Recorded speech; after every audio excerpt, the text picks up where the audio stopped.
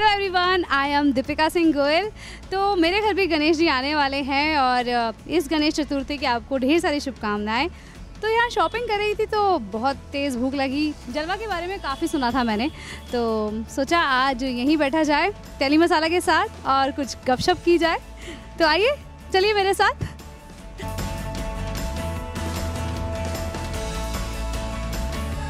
हर बार तो गणपति का फेस्टिवल है वो काफ़ी धूमधाम से मनाती हैं आप अपने परिवार वालों के साथ। हाँ। इस बार का क्या सोचा है? किस तरह से लाने वाली हैं अपने घर पर? आ, वही नाचते गाते लेकर आएँगे बट पहले तो सब फ्रेंड्स को बुलाते थे तो लास्ट ईयर तो बड़ा ही मुश्किल हो गया सिर्फ़ फैमिली फैमिली थी। But luckily I am very fortunate कि मेरे साथ जॉइंट फैमिली रहती है। तो आ, फिर भी हम लोग मतलब मिलके जो है सात आठ लोग एक साथ रहते हैं तो जश्न हो ही जाता है। बट या फ्रेंड्स को तो मिस करते हैं। होपफुली अभी मुझे भी दोनों वैक्सीन लग गए हैं, रोहित को भी दोनों वैक्सीन लग गए हैं और काफ़ी फ्रेंड्स को भी लग गए हैं। तो बस इस बार यही आशा है कि मतलब पहले के जैसे थोड़ा बहुत हम लोग कर पाएँ और जाएँगे गाते बजाते हुए ढोल वाले को बुक कर कर दिया है मैंने अभी, वही करके आ रही थी। तो ढोल बजाते हुए डांस गाते हुए, जयकारे लगाते हुए लेकर आएँगे गणपति को।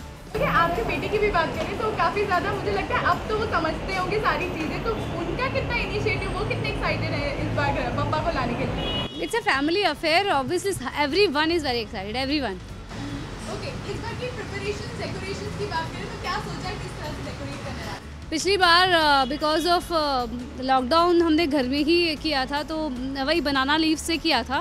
बट उसमें ना एक बहुत अच्छी चीज़ थी you you know know, uh, कि उसमें अपनापन था। हर बार तो डेकोरेटर आके करता है।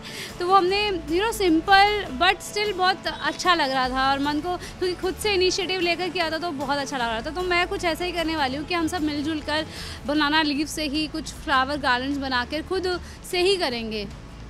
लॉकडाउन ने काफ़ी कुछ अच्छी से चीज़ें सिखा भी दी हैं तो वही उसको ही यूज़ करेंगे। जितना हो सके उतना कॉस्ट इफ़ेक्टिव रखेंगे और आ, मतलब जितना सिंपली हो सके उतना आ, करने की कोशिश करेंगे। लंच पे आई हैं तो पहले तो जानना चाहूँगी किस तरह की चीज़ें आपको पसंद है और क्या सोचा है कि क्या कुछ आने वाला है? मैं मुझे बहुत ही सिंपल चीज़ें पसंद हैं जैसा कि आप घर में खाना खाते हैं मुझे वही पसंद है दाल चावल पनीर एंड चपाती।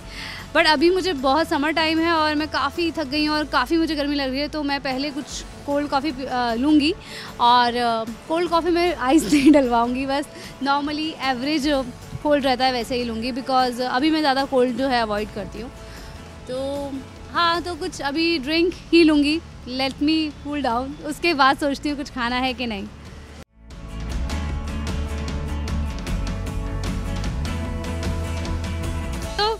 फाइनली मेरा लजीज जो है सैंडविच आ गया क्योंकि मैंने बताया आपको, मैं शॉपिंग करते करते यहाँ रुकी हूँ।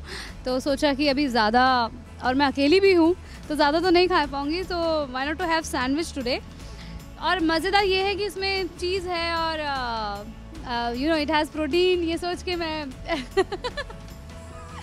तो खाने वाली हूँ। तो यस लेट मी ट्राई कैसा है? माय oh मुझे माइक रखना पड़ेगा। काफ़ी बड़ा सैंडविच है।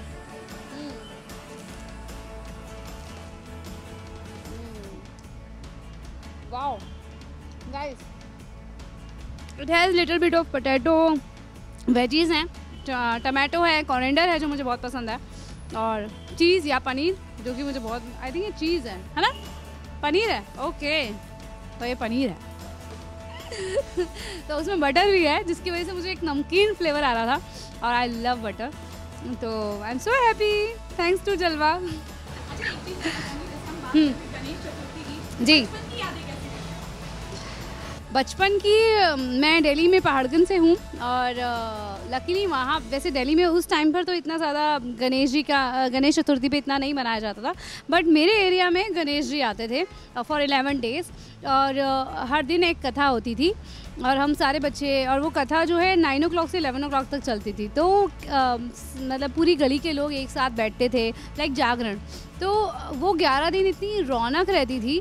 और हमारे एग्ज़ाम्स होते थे, उस टाइम पे हमारे टर्म एग्ज़ाम्स होते थे तो स्पीकर्स लाउड चलते थे बट हमें आदत पड़ गई थी यू नो शोर शराबे के साथ पढ़ने की। बट एक्साइटमेंट बहुत होती थी, क्योंकि यू नो इवनिंग में नाइट टाइम पे हम लोग गपशप करते थे और अच्छी अच्छी यू नो जो पौराणिक कथाएँ हैं, वो सुनाई जाती थी। रामायण का पाठ होता था तो वो सुनने को मिलता था। तो बहुत एक अच्छा एनवायरनमेंट होता था। आई स्टिल मिस दैट हाँ।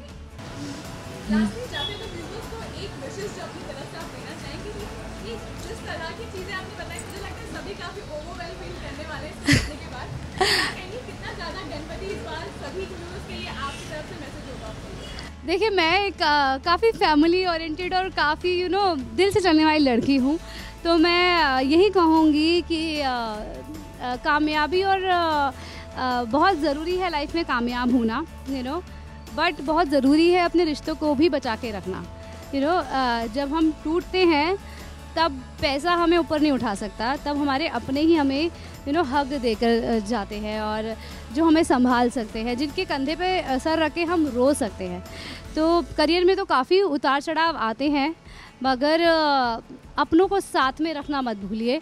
हाँ कभी कभी लड़ाइयाँ होती हैं ओपिनियंस डिफरेंट होते हैं बट उनको सिर्फ़ ओपिनियंस के जैसे रखिए। अलग होने की बात कहीं ना कीजिए, ना तो फैमिली ना पार्टनर कोशिश करें अगर साथ में चल सके तो। और खुद को ही बदला जा सकता है, दुनिया को तो बदल नहीं सकते हम। तो थोड़ा खुद को बदलिए और अपने लिए कुछ ऐसा कीजिए जो आपको खुशी दे दिन में। तो आई थिंक लाइफ में चलना आसान होगा, और सबको समझना आसान होगा। अगर आप कोई भी आपकी हॉबी है जो आप काफ़ी मिस कर रही है तो थोड़ा सा time half an hour at least उसके लिए स्पेंड कीजिए, और आप देखिए आपकी लाइफ कितनी फ्लरिश और यू नो प्रॉस्पर हो जाएगी। सो गणपति बप्पा, मोरिया।